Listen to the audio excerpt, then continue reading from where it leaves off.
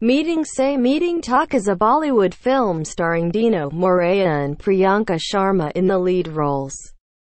It is written and directed by Anant Mahadevan and produced by Narendra Bajaj and Shyam Bajaj. The film was shot in Dubai and parts of South Africa. Subscribe our channel for more such informative video.